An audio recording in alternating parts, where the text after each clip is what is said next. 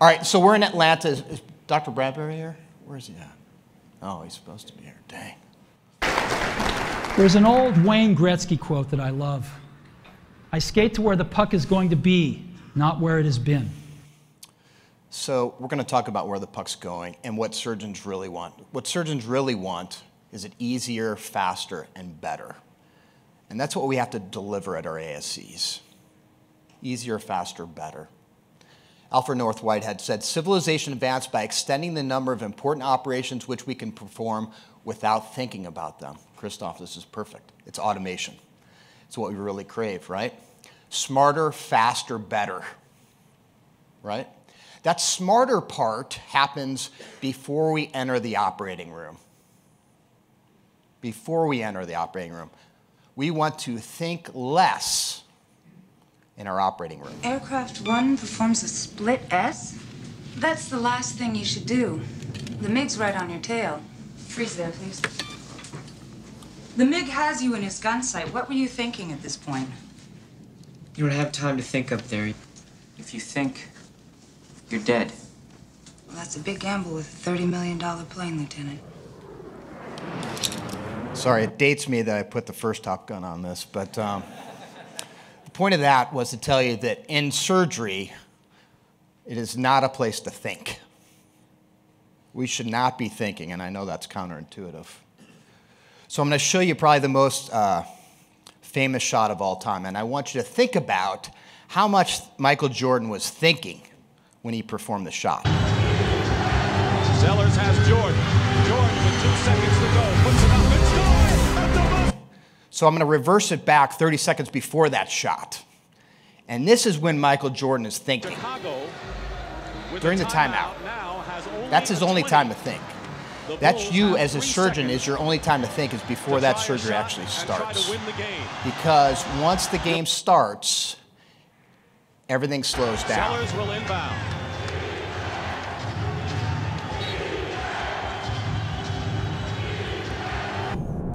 Reason why Michael Jordan made that shot is because why? He's done it 10,000 times before. He's not thinking during that moment. It's all automatic for him. Okay? This is a great book. I'm going to show you several books you got to read. Deep Work is another great book you got to read. And my question to you is how much deep work do we do in the OR? Deep work is a state of peak concentration. How much peak concentration do we have? Well, let me show you what we do. Hard to say that this is really peak work, right? Peak concentration, right? Now, I'm not saying you don't focus. We are laser focused when we operate. Different. Different.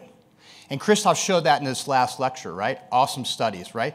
Am I thinking when we do these things? Are we thinking at all? This is me in the, this is from my bathroom. This is what I have to do. How much thinking do I have to do for this in the morning? How much thinking do you do? And you guys and girls think about this. Girls may have to think about it a little bit more. Is that sexist or no? Probably not. But each of these things, how much am I thinking? This is automatic, right? That's what it needs to be for your OR. This needs to be automatic, like brushing your teeth, like taking your vitamins. Consistency is what we're trying to deliver for our surgeons in our ASC because the best shooters shoot at the exact same time every time they look at the basket. The exact same way, right? That consistency. Now, this idea of task switching, I think, is going to be very important. And I want you to think about this the next time you operate how much task switching you do in one case. What's task switching? You say, well, you have to stop, do one thing, stop, think about it, do the next thing. That's task switching. So when you think about one total hip that you're doing, how many times do you switch what you're doing to do something else? How many times do you get interrupted by something, by a nurse, by a circulator that doesn't hand you something, by someone that calls out something? Something drops in the OR, something does this, something does that, and it takes away from our concentration just for a second, right? That's task switching. If I throw in thinking in this, if I'm like, ah, what I should I put that cup at today? Gosh, do I really need to worry about pelvic tilt? If you're starting to think about that in the OR, that's trouble. You need to figure out pelvic tilt well before that case starts, right? That's task switching. If there's task switching, it creates pain. So we want to be faster. And unfortunately, this is our life, right? We're stuck in waiting rooms waiting for the next case. It's brutal, right? And that's definitely our number one frustration is this. Because we're stuck in these environments that frankly haven't changed in 100 years. It's brutal.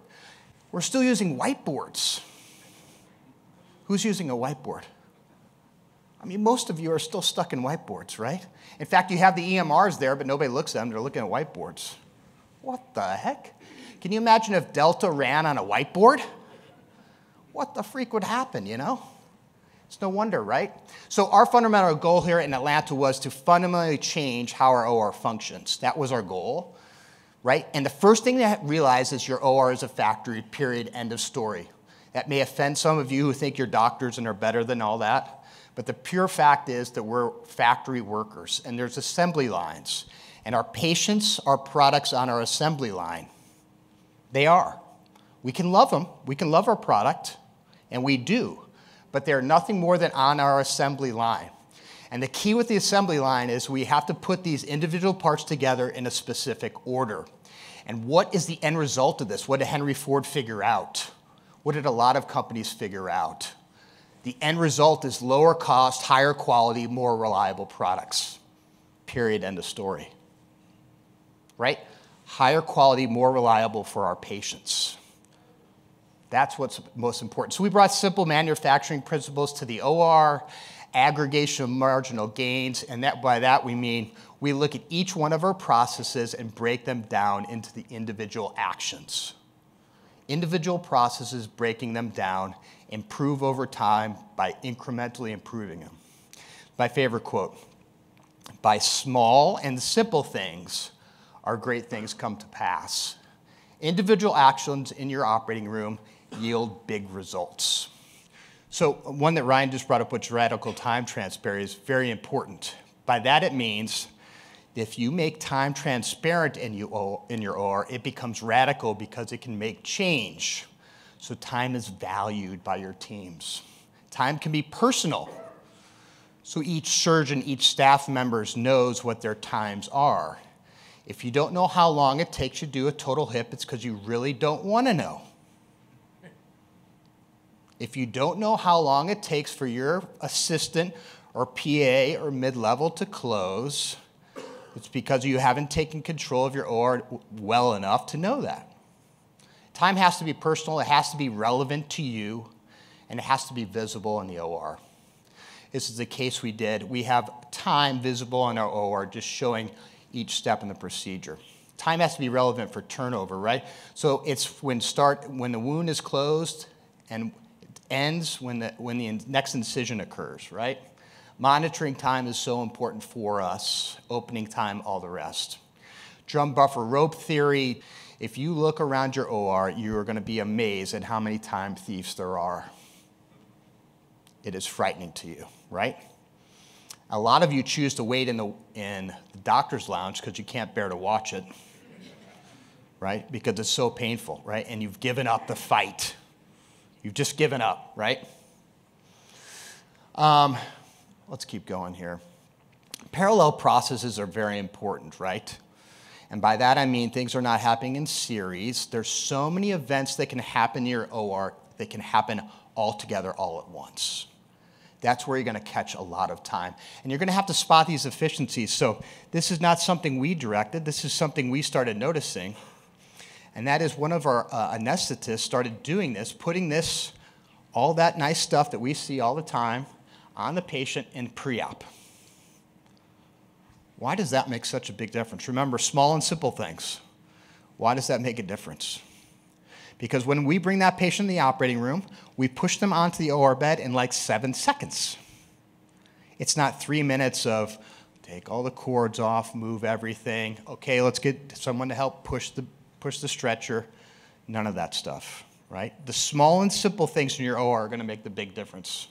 So you have to spot them and you have to look for them. So we started out in the hospital. We were doing 10 by 3 and then 10 by 2 and then 12 by 2 and then 12 by 1. And then over a period of time, your OR suddenly becomes more and more and more efficient to the point where it gets ridiculous how efficient you can become. Just like that, back in the OR doing what I love. Now, I'm operating more than ever. Hey, Doc, you think I can be part of the team?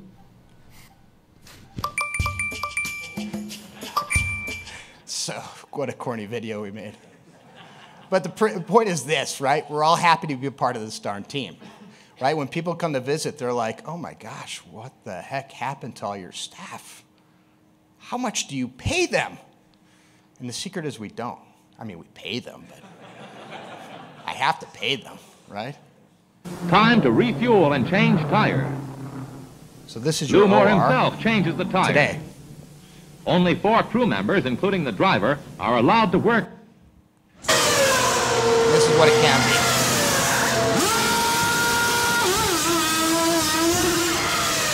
It's a great analogy, and it is so true.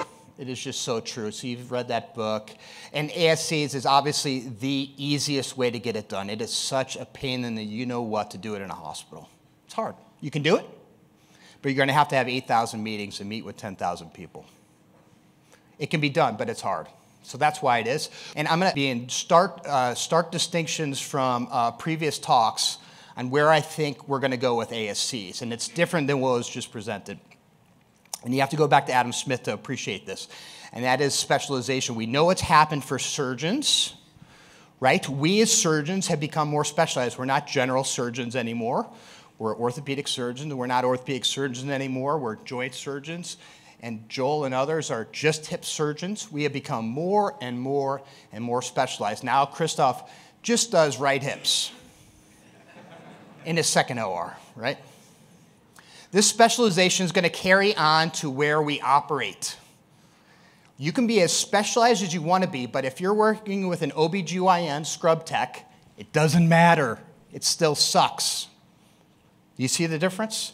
If you're in a hospital that's not specialized to fit your specialization, it still sucks, and it sucks operating there, and that has to change, right? So, this idea of specialization coming from community hospitals to multi specialty ASCs, which was great, at least we got out of the hospital. And then it became orthopedic ASCs, where he did a little bit of everything. And sooner or later, it's going to be just joint factories. We don't have hand surgery. We don't have foot surgery.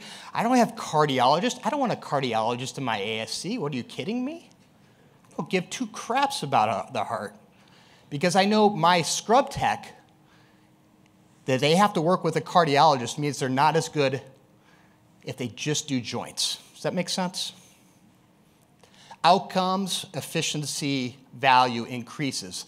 The quicker you get to this kind of model, I promise you, the happier you will be. The happier you will be. Christoph talked about happiness for surgeons, right? You have to break down any walls that are in your way to make it happen. SPD is another one. We have to figure out SPD. They're broken everywhere. They're broken everywhere, and we have to fix that. The logistics, I think, is something that's going to be very important. You cannot be efficient if your SPD sucks. You can't. There is no way. And if you just look, spend five minutes thinking about what all these OEMs do, think about the crazy logistics to get that case ready for you, the cost it takes to do it. We as surgeons have to start taking ownership from that. You heard Rob Cohen talking about that yesterday with um, revision surgeries and the cost that they have to endure. Guys, we're going to have to start figuring this out in order to make this work, right? Innovator's Dilemma, second book you got to read. And what Clayton Christensen realized was that all these fantastic Fortune 500 companies were dying, they were going away. And he said, this doesn't make sense. There are smart people in these companies. What is happening? You know, 52% of them are gone. The average lifespan of these companies going down. What's happening? What used to grow bright now goes away. And what happened to that? It's the innovator's dilemma. And innovator's dilemma is all those companies you see on the screen here eventually died. Why did they die? Because they didn't understand the job that had to be done. Anybody know where this is? Anybody know what lake? Where's Joel? Joel's been to Finland. This is the Nokia River, and this is in 1865, and they formed this company, Nokia, and they uh, developed paper eventually rubber, And they pivoted telecommunications. Eventually, they gave us these fantastic phones. And in 2007, this is what it looked like. A lot of you will remember. And this was the cell phone. Hello? Hello, Neo. Remember that ringtone? So that was a Nokia. And in 2007, they were the cell phone kings, and this was their market share in the second quarter. They reached 50% of the market. Now, whatever, what else happened in 2007? These are not three separate devices. This is one device. And we are calling it iPhone. So everyone look in their pockets and Today- see who's got a Nokia phone. Why is that? It's because Apple understood the job of the customer. And your ASCs that you're building and that you're building, you have to understand what the job of the customer is. Your customer is your surgeon, and you have to make it easier, faster, and better for your surgeons. That's the environment we want to create with ASCs. And we know the history here. Jobs to be need to done theory works. what it is the customer's trying to accomplish. What's the job that the customer's trying to get done? So that's the most important thing. And we have to remember that we want to make this easier for surgeons, we want to make it faster, and we want to make it better. And I'm going to close with this. This is my last book, probably the most important one. It's How You Measure Your Life. And this is the same guy who came up with these theories and is, has the very same theory on how you're going to measure your life when it's all over. So I'll ask you, how will you measure your life? Is it going to be the number of surgeries you do? Could be. Could be. Is it going to be your family? What is it going to be? How will you measure your life? Right? We all look at our lives and think, well, I was a success, I was not a success, I had a company, I sold it, I made lots of money, or whatever it is. But how will you measure Actually, your life? really important that you succeed at what you're succeeding at. But that isn't going to be the measure of your life. God doesn't count, He doesn't aggregate. And uh, He's just going to assess you on the basis of how well you helped other people be better people. Thank you.